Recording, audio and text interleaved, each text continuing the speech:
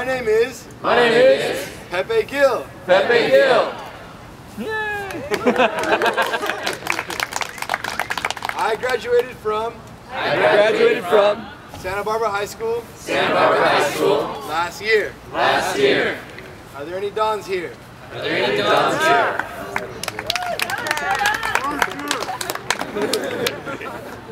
What I'm going to talk about What I'm going to talk about is the history is the history of why Saks Fifth Avenue. of why Saks Fifth Avenue. And in addition, And in addition, gonna explain gonna explain why we're all here today. why we're all here today. Pretty much, Pretty much, for a long time, for a long time, there has been a disenfranchisement there's been a disenfranchisement of communities of color.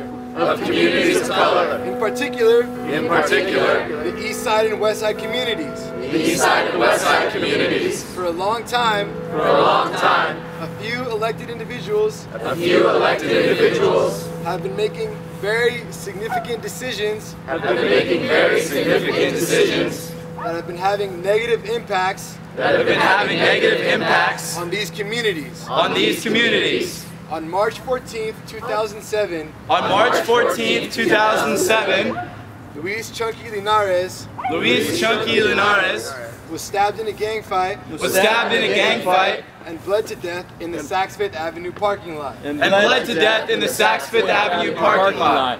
As I previously stated, As I previously stated, there's been a history there's been a history of very, very bad things happening here in Santa Barbara. very, very bad things happening in Santa Barbara.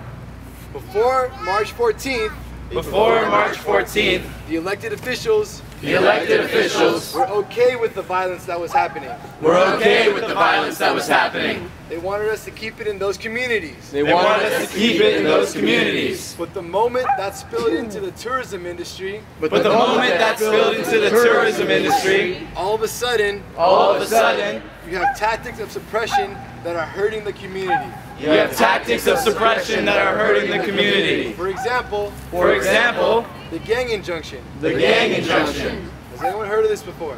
Has anyone? Yeah.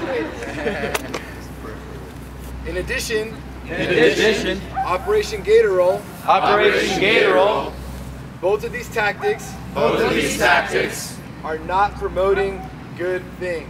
are not promoting good things. A lot of bad things have happened and will continue to happen a lot of bad things have happened and will continue to happen. if the people who are being most affected If the people who are being most affected are not being heard. are not being heard. And this is why And this is why we are here today. we are here today.